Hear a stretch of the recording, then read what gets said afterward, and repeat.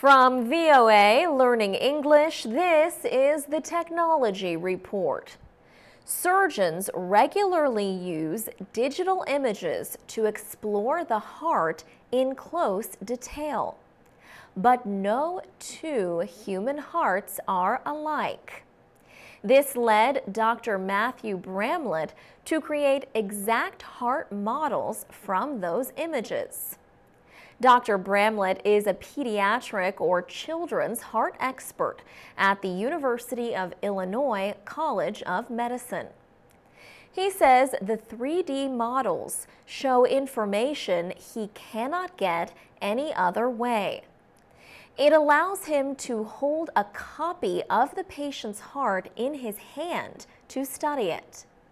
A 3D printer uses images from a digital display to create a physical model of a human heart.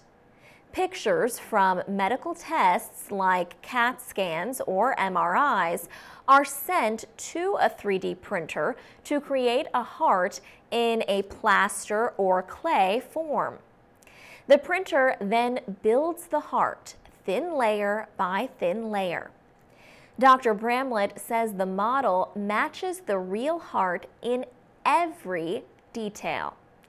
In his first case, digital images showed only one tiny hole in a baby's heart.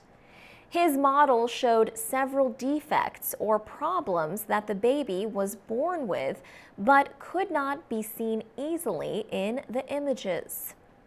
The heart surgeon was able to change the type of surgery for the patient based on the 3D model. He added that 3D heart models save time during heart operations.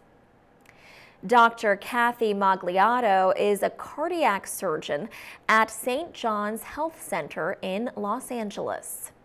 She welcomes the new technology. She says it could help her make better decisions before she operates on the hearts of her patients.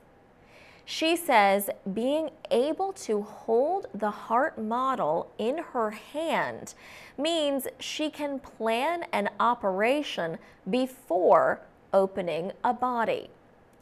Dr. Magliato says that is what can change the operation and save lives.